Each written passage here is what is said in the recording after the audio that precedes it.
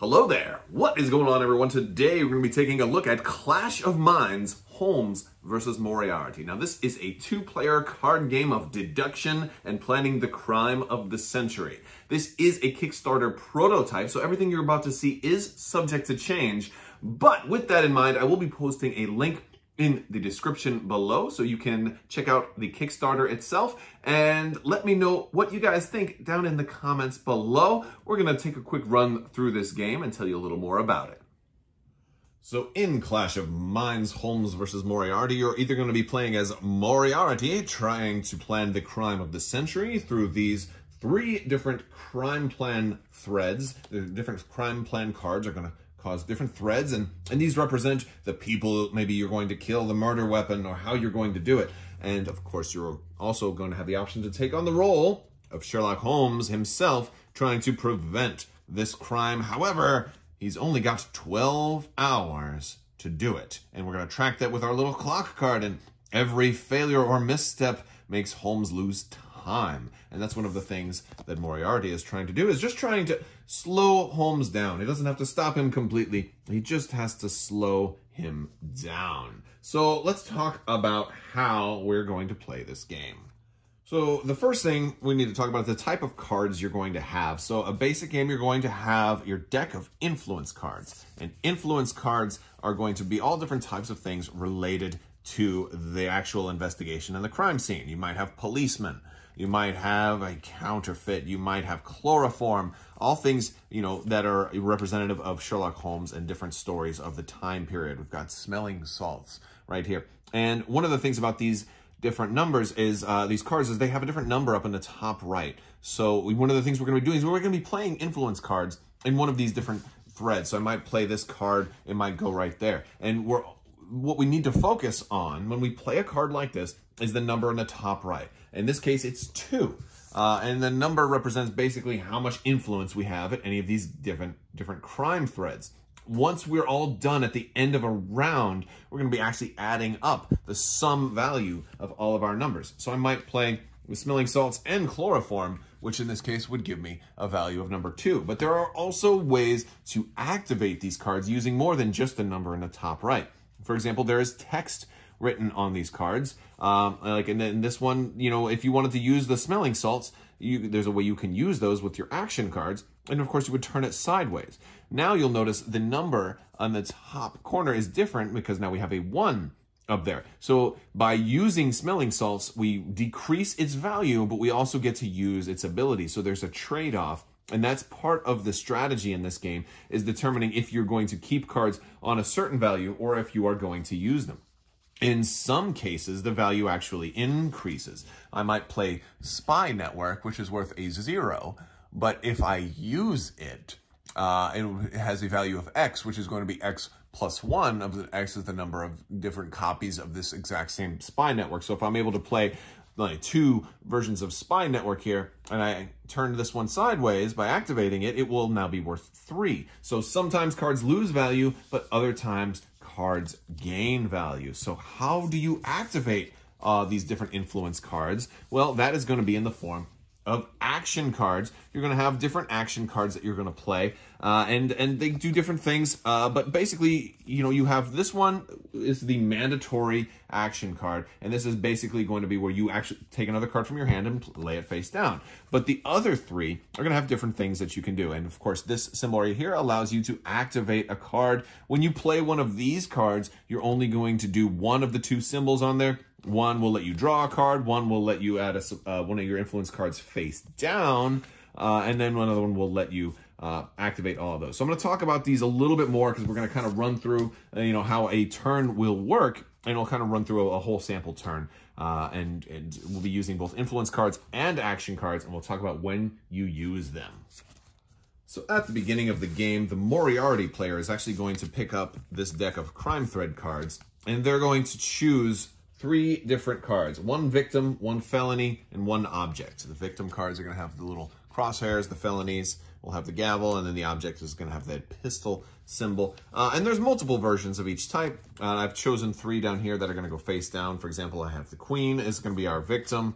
Uh, the felony is going to be kidnapping. So he's going to try to kidnap the queen and he's going to be using a dagger as the object. So he's going to hold her at knife point to kidnap her. And of course, that would constitute the crime of the century. And they're all going to do different things when they are revealed. So in the case of, let's say Holmes is able to discover the dagger, well, this when once he does, it also adds an hour to the clock. And Holmes only has 12 hours, so adding an hour, that's a bad thing. Uh, so, but some of them are going to do good things. Like if Holmes discovers the queen, uh, now there's something, a positive effect for Holmes, and uh, the felony will be more of a neutral effect, uh, something that affects both players about the same.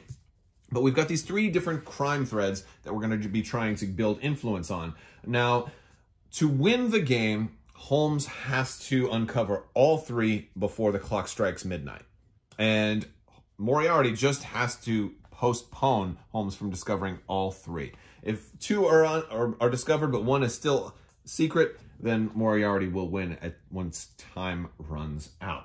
So what are we going to do? At the beginning of the turn, we're going to be drawing five influence cards. So uh, I am playing Moriarty right now, and both decks are the same. The only thing that different uh, differentiates them is the back. So we both have access to the same uh, number and types of cards. So we both have access to crooks, for example, or handcuffs, or smelling salts, etc.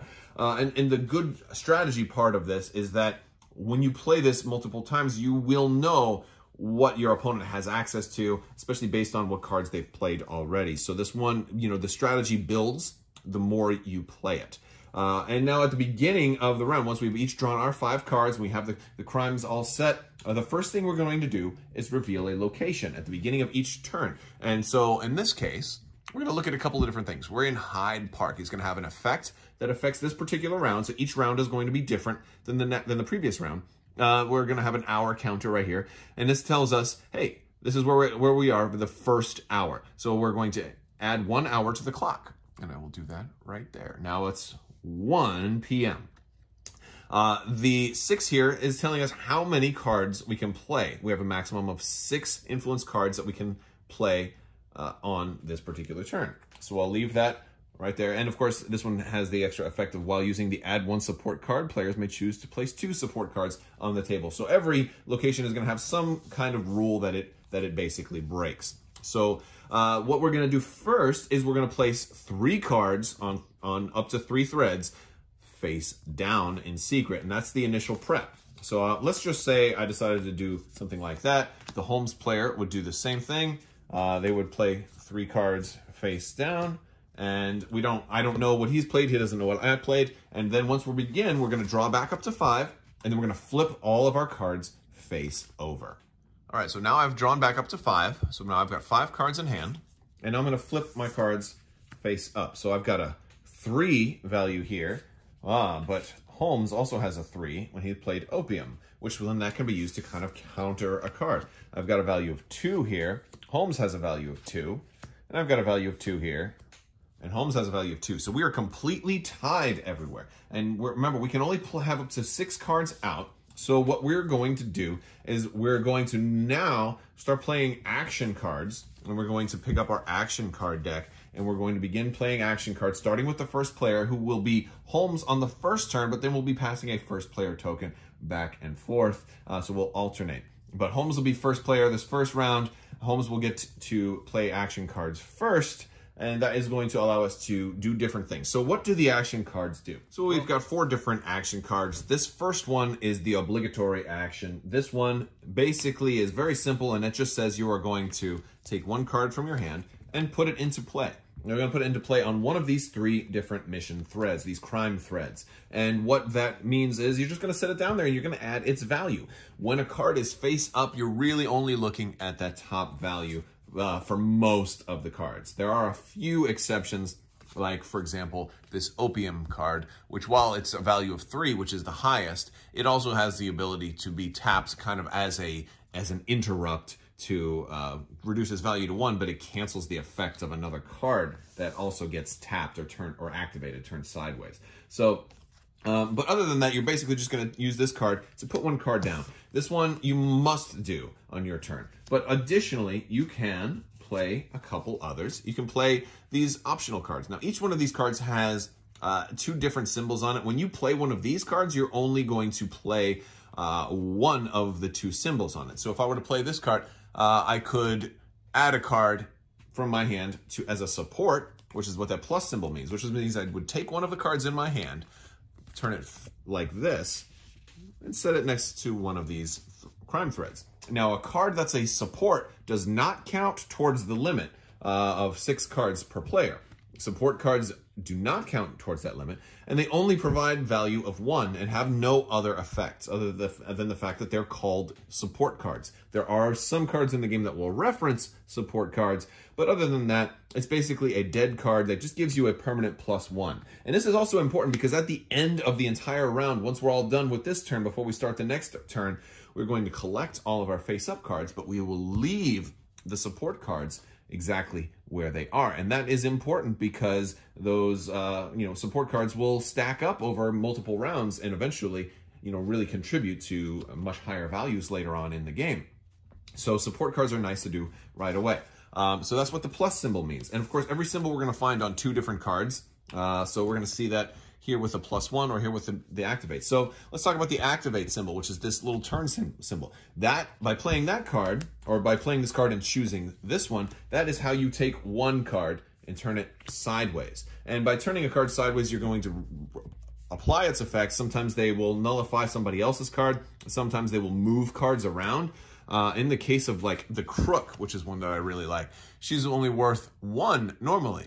But when you activate her, you move her to a different thread. So it's kind of a bluff. I put her over here, you know, or, or Holmes might put her here. And then when he activates her, now she becomes a two because when you tap her, now you see in the top right, it's a two. So she grows in strength and moves somewhere else. And he gets to choose where he moves her, but it has to be another thread, can't be the same thread. So it gives some unpredictability to your to your offense or to your strategy. Um, but different different uh, cards will do all do different things, uh, and some they'll do uh, things from moving cards around to canceling somebody's. The there's a policeman that can actually put somebody in jail, so it gets rid of a card altogether, and that is very effective. But you can't activate all of your cards; you only get to activate one. Um, so. Uh, and then there's also the plus one symbol that we will see on some of these cards, and those let you draw one more card into your hand. You're going to need more cards in your hand if you want to be playing add support card or the obligatory add one card into, into play. Um, so the first player will do this first. They will play at least this one, but as many more as they would like, and they can do them in any order, but they must at least play this card. They don't have to play the rest. Well, and so Holmes will do that. Once Holmes is done, and then I, as Moriarty, will then take my turn. I will start to play, um, well, these are mine. I'll play these, and they look the same for each player. The backs are a little different, though, so we can see the backs. It's the same artwork, but the green is for Holmes and red is for Moriarty. So uh, after Holmes plays his, then Moriarty, I will play mine, and we will go back and forth until somebody hits six cards in play, in which case then the next person takes one more turn, and then we move to the final turn, which isn't really the final turn. It's just the final turn of the round. Then we will start a new round. Then the final turn happens, some different things will happen, and this is kind of cool. It changes it up just a little bit. So once we begin the final turn, I've kind of fast forwarded a little bit until I have uh, several more cards out in play. Uh, and what we will do in this case is we'll take our action cards, flip them face down, and assign them in secret to different threads. And I might do something like that. And Holmes will do the same thing. And then in player turn order, starting with the first player, you'll choose one to reveal and apply one of the effects. Uh, you do not have to apply the effects, so you could flip it over and say, you know what? I actually don't want to do anything right now.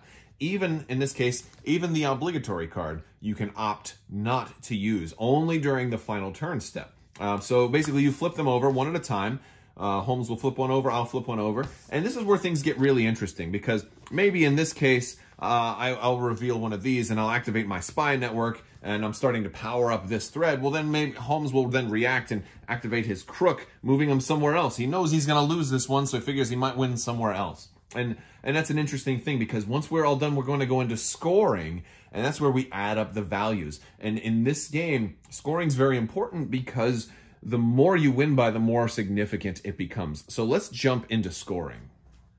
So I'm going to start with this side, and we're going to score here. Uh, we're going to see that I've got a value of 3 right now, whereas Holmes has uh, Opium, which is 3, the Policeman, which is 3, and then the Crook, who's activated and is now a 2.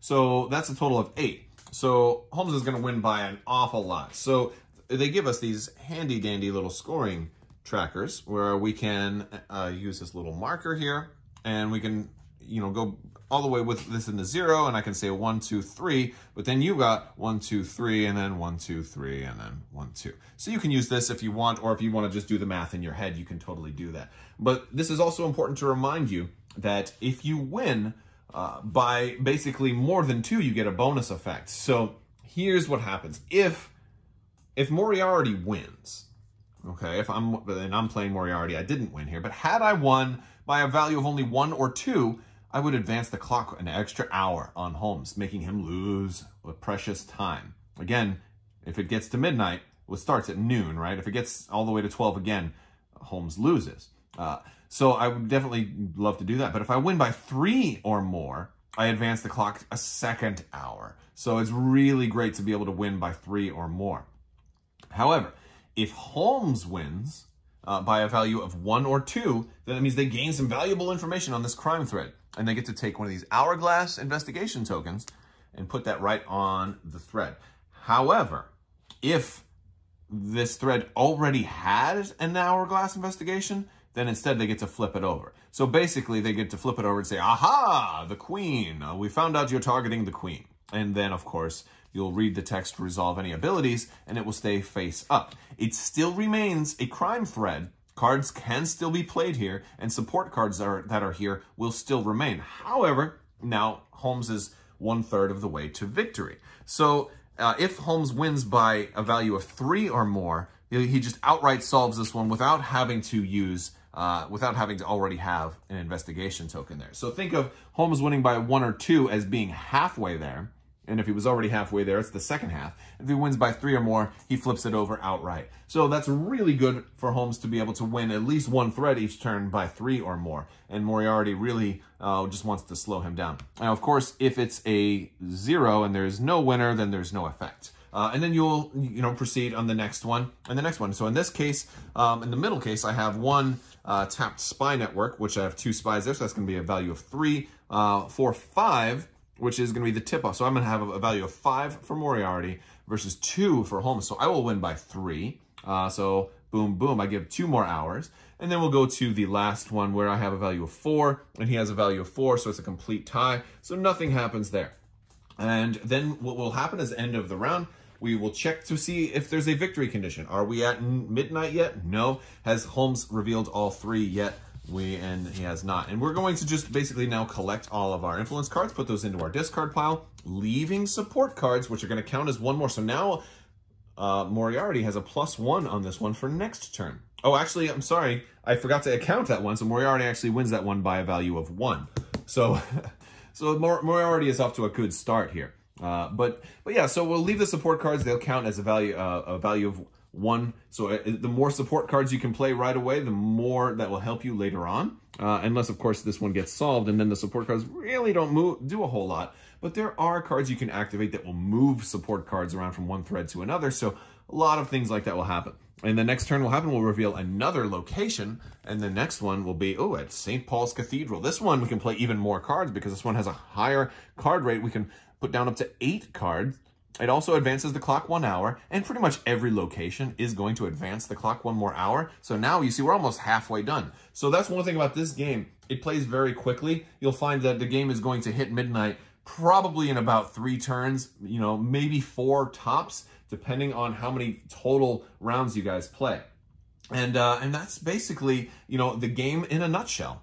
Now, there are a couple of other things about this game. There's a little bit more replayability to it. There's an alternate mode where you can play with additional helper characters. So we can add, uh, you know, John Watson and Henry Jekyll and George Lestrade and, uh, you know, even, and then uh, Moriarty gets his helpers like uh, Dr. Hyde and Jack the Ripper. And, you know, and so you can play with some extra helper characters in there, as well as there's this really nice box, which you may be able to get via Kickstarter, as well as some upgraded metal coins. And uh, I don't think we talked about the lock and key coins too. Uh, there are certain cards that will disable a card and you put these coins on there for a card to be disabled. It'll be tapped, but it doesn't actually add its effect and that's how you mark that. And then we have, you know, nice metallic uh, some also uh, investigation uh, coins for Holmes to upgrade uh, those tokens. So there's a lot of little extras that you can get with the Kickstarter, and you know it makes for a lot of replayability as well.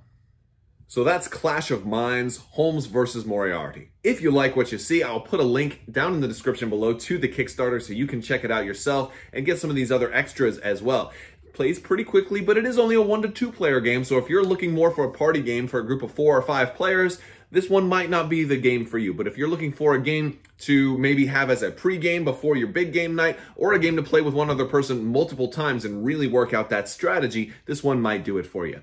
All right, guys, well, that's all I've got for you today. If you like this video and you uh, like what I'm talking about and you'd like to see more, uh, I encourage you to hit that subscribe button. I'm always running giveaways. I'm always talking about new games, and I talk a lot about Star Wars. All right, guys, that's all I got for you today. I want to thank my patrons on Patreon. You guys are amazing and definitely helped make this all possible. Want to thank everybody for watching. Thank you so much, and as always, have a great day.